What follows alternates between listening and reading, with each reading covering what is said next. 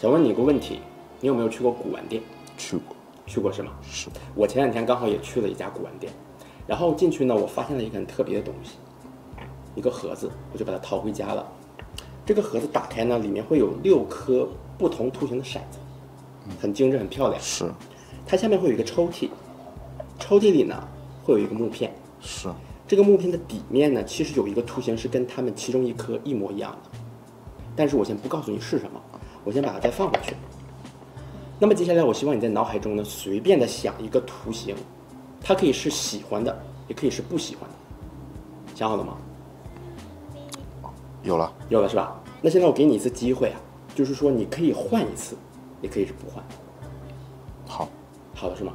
那现在把你喜欢的图形拿出来就好了，拿起来就可以。五角星是你最后的选择对吧？是还记得我说过这个抽屉里面有一个木片对吧？对，你把抽屉抽出来。好，木片底下会有一个图形，对，大家看一下是什么？它就会是五角星。然后这个其他的骰子呢都是可以来给你检查的。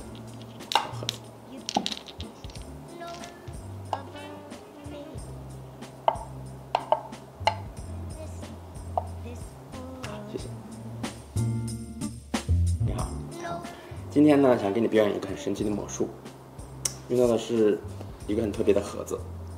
好，抽屉里它会放着六个不同图形的木片，好，对吧？呃，圆形、爱心、五角星、呃正方形、三角形跟六边形，，OK，没错对吧？好，那么接下来呢，除了这个，我们还有六张对应图形的卡片。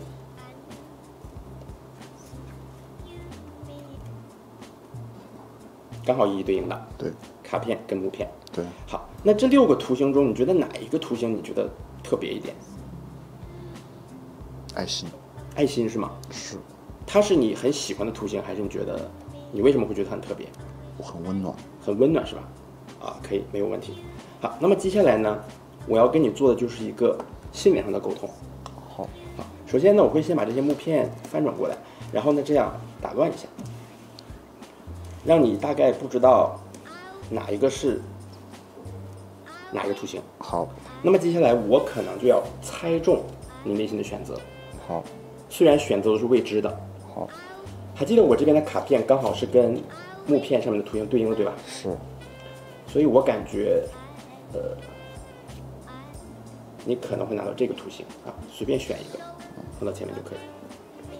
好，我们翻开看一下你选择的是什么，圆形对吧？很随机的一个圆形是你选到的对，，OK，一切就是那么不可思议。好，当然你会觉得这是巧合，没关系，我们再做一次。嗯，第二个我会觉得你应该是拿这个，随随机随便。好，我们看看你拿到的是啊，是五角星。好，我们继续，应该是这个，可以拿第三个吗？它这里是吧？啊，是三角形。第四个的话，大概应该是拿这个。它好，这是你拿的。好，那第五个，我猜应该没有问题。嗯好，这个对吧？好，是正方形。好，那么现在呢，还剩一张和一个木片，对吧？嗯。如果一切都正确的话，我们的图形应该是一样的。你翻开看一下是什么？六边形。哎，刚好就是六边形。还记得我们这边应该是五角星、三角形、爱心跟正方形，对吧？对，没错，是不是？对，那是五角星、三角形、爱心和正方形，很神奇，对不对？对，但是一切到这还没有结束哦。还记得一开始的时候我问过你，哪一个图形你觉得它最特别？你说爱心比较温暖，对不对？对，我一开始就会知道你会选择爱心，因为盒子一开始就放了一个全是爱心的骰子，没有任何问题。你好，你好，很高兴见到你。那么接下来呢，想给你看一个特别的东西。好，首先是这一个木盒，木盒打开里面会有很漂亮的六颗不同图形的骰子，嗯，对吧？好，我们先放到一边。除此之外呢，我们会有六张卡片，卡片刚好是对应了骰子上的六个图形，你可以检查一下看一下，没有任何问题。嗯，没有什么问题。接下来我希望你能帮我一个忙，就是充分的把这些卡片打乱，好，打乱了吗嗯？然后把它一字排开到你的对你的面前就可以。这里了对对对。好，经过你这么复杂的打乱之后，应该没有人会知道它的顺序是什么，对吧？对，是吧？好，那么接下来是这个样子。我希望呢，你在这六颗骰子中想一个，不要说出来啊，想一个你喜欢的图形，好，可以吗？好了，想好了，对不对？对。以前呢，我在给别人看这个东西的时候呢，他们都会后悔。当然，你现在可能不知道后悔什么，所以我给你一次机会哦，你可以换或者不换好换了。啊，你可以不用告诉我的。啊，好好，对，反正你已经有一个最后的答案了，对吧？是。好，那么现在可以把你想的那个最后的图形拿起来，骰子中的。哦，三角形是你最后的选择。对。OK，非常好。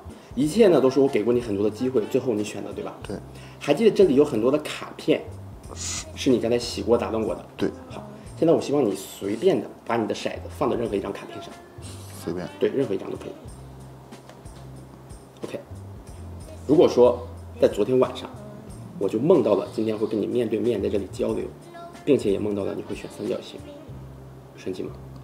当然，这个木盒子下面会有一个抽屉，对吧？对，你把它抽出来，抽出来之后你会发现上面有一个木片，对，那么希望你可以亲手把木片打开，看一下，另外一面的图形是什么？它会是三角形。